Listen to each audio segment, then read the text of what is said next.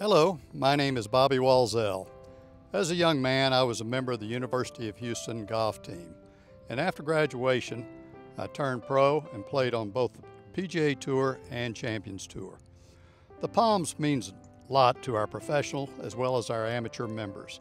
Here, it's all about friendly competition in the game.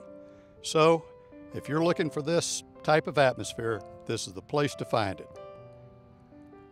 Now let's take a look at the 17th, one of our most difficult second shot holes.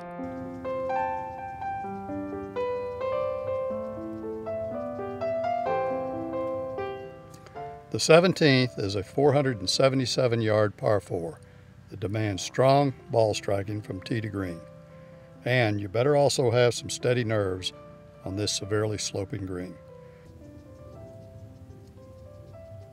The ideal tee shot is a big time drive or a tight power fade that gets you past the large clustering palms on the right corner of this dogleg. If you play it safe and don't challenge the corner, you'll still hit the fairway, but you'll be faced with a second shot of more than 210 yards to reach the green.